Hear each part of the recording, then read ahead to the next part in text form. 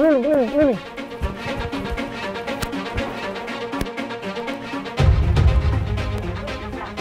Hei, hei, hei!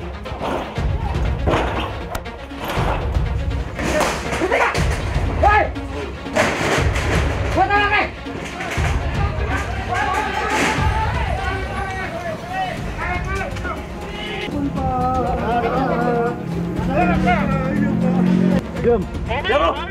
anak!